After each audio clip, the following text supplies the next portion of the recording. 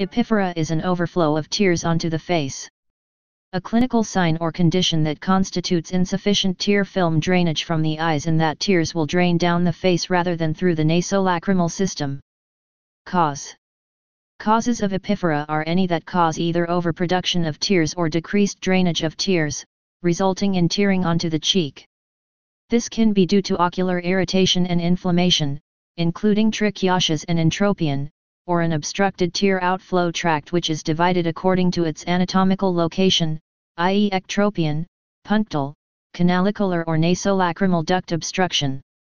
The latter is often due to aging, a spontaneous process, conjunctivochalasis, infection, i.e. dacryocystitis, rhinitis, and in neonates or infants, failure of the nasolacrimal duct to open.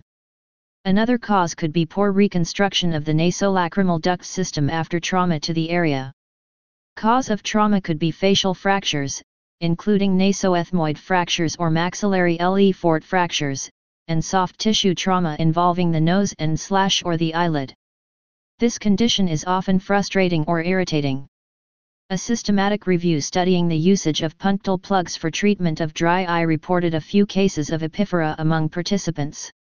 Diagnosis Diagnosis of epiphora is clinical by history presentation and observation of the lids.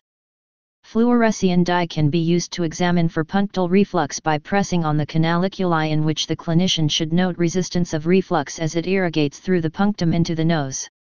Management If epiphora is caused by ectropion or entropion, lid repair is indicated.